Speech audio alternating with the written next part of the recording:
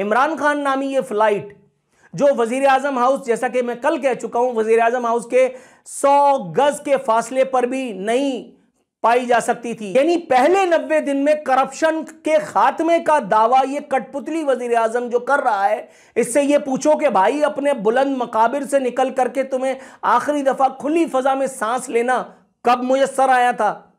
Transparency international report के इजरा के महज एक दिन बाद वज़ीर आज़म इमरान खान की जानब से एक बड़ा दावा किया गया है मुलायजा कीजिए that the main corruption and the main corruption is the prime minister and the ministers.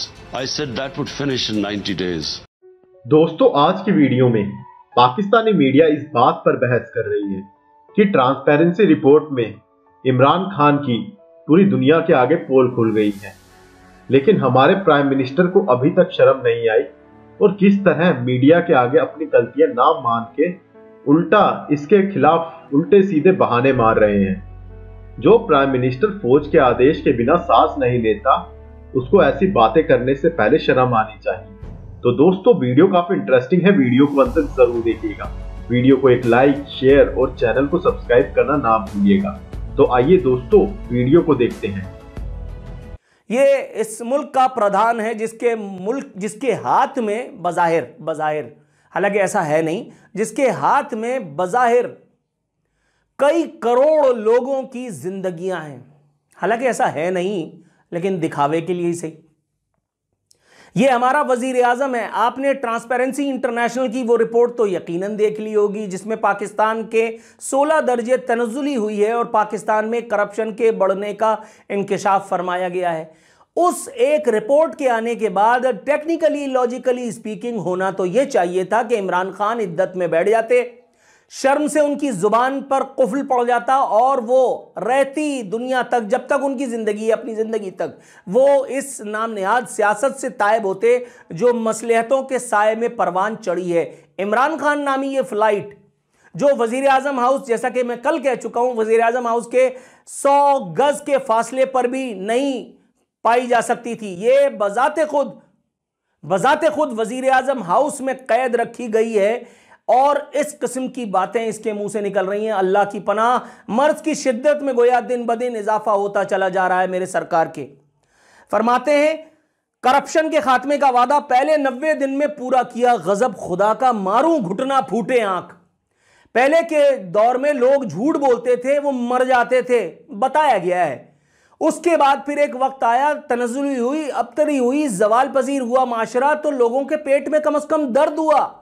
और अब जिस धड़ल्ले से ये शख्स झूठ बोल रहा है, उसे देखकर लगता है कि आइंदा आने वाले दौर में गुनाह का एहसास भी जाता रहेगा इंसानों के दिलों से। यानी पहले नब्बे दिन में करप्शन के खात्मे का दावा ये कठपुतली वज़ीर आज़म जो कर रहा है, इससे ये पूछो कि भाई अपने बुलंद मकाबिर से निकल करके तुम्हें आखिरी दफ़ा खुली फजा में सांस लेना कब मुयसर आया था? कब मुयसर आया था?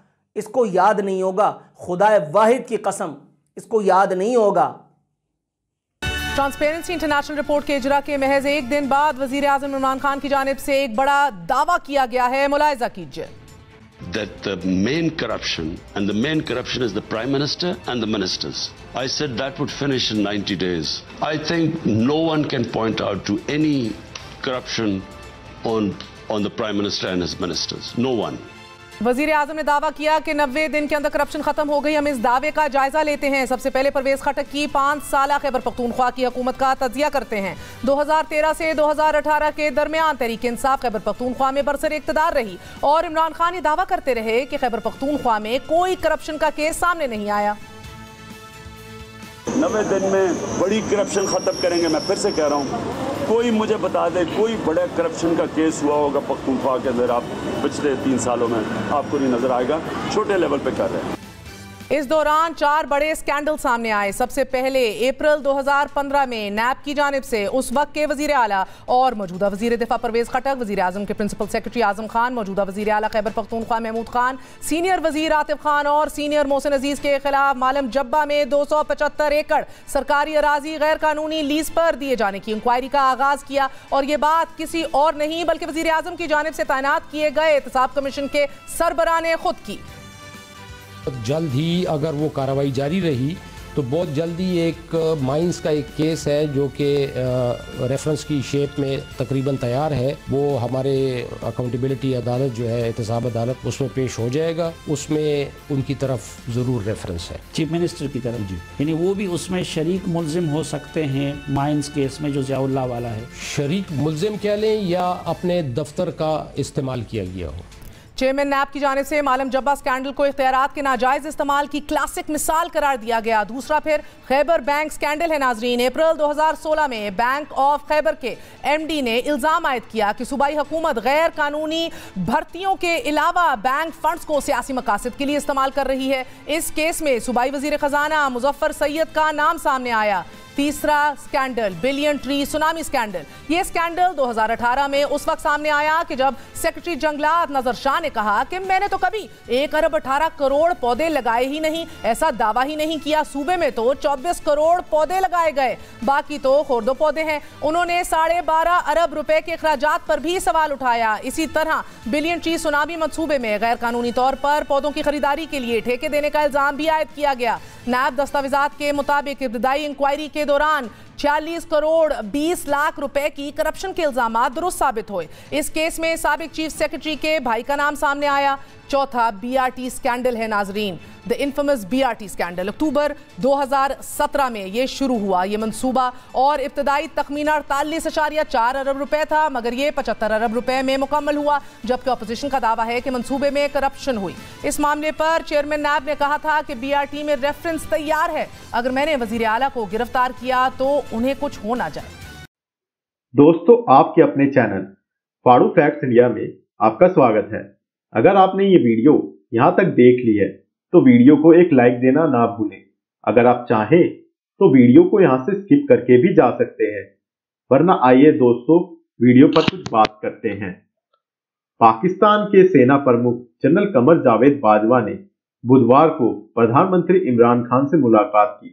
बताया जा रहा है कि भ्रष्टाचार को नियंत्रित करने में असमर्थता को लेकर विपक्षी दलों द्वारा सरकार पर नए सिरे से हमलों के बीच सशस्त्र बलों से संबंधित पेशेवर मामलों पर चर्चा हुई है। जानकारी के मुताबिक ये बैठक प्रधानमंत्री कार्यालय में हुई। प्रधानमंत्री दफ्तर में हुई इस बैठक के बारे में विस्तृत जानकारी सामने नहीं आई है। एक संक्षिप्त आधिकारिक बयान के मुताबिक बैठक में पाकिस्तानी सेना से संबंधित पेशेवर मामलों को लेकर चर्चा हुई है। ऐसी संभावना है कि पाकिस्तानी सेना प्रमुख जनरल बाजवा और प्रधानमंत्री इमरान खान के बीच बैठक में विपक्षी दलों के इस्लामाबाद चर्चा, भ्रष्टाचार, देश में महँगाई और अफ़गानिस्तान सीमा पर ताज़ा हालात समेत कई दूसरे मुद्दों पर चर्चा की गई। सेना प्रमुख बाजवा और पीएम इमरान खान के बीच बैठक से एक दिन पहले ट्रांसपेरेंसी इंटरनेशनल नाम की संस्था ने पाकिस्तान में बढ़ते भ्रष्टाचार को लेकर एक रिपोर्ट जारी करी थी। जिसके मुताबिक पाकिस्तानी स्थान से फिसलकर 140वें स्थान पर पहुँच गया। संस्था की एक 2021 की रिपोर्ट में 180 देशों को भ्रष्टाचार के मामले में कई मानकों के आधार पर रैंकिंग दी गई है। विपक्षी दलों ने रिपोर्ट को पीएम इमरान खान की असफलता करार देते हुए इस इस्तीफे का मांग की है। लेकिन इमरान खान से जब इसके बारे में बात करी गई तो वो अभी भी इसी बात पर अड़े हुए हैं कि उनकी सरकार में जब से वो आए हैं तब से पाकिस्तान में करप्शन घटा है। अगर माना जाए तो वो इंटरनेशनल रिपोर्ट को एक तरह से नकारा कर रहे हैं। तो दोस्तों, वीडियो यही होती है समाप्त। आपको वीडियो कैसी लगी कमेंट सेक्शन में ज़रूर बताएँ। और आपका इन डिबेट्स को लेकर क्या विचार है, वो भी कमेंट सेक्शन में ज़रूर ज़ाहिर करें। तब तक के लिए धन्यवाद और जय हिंद।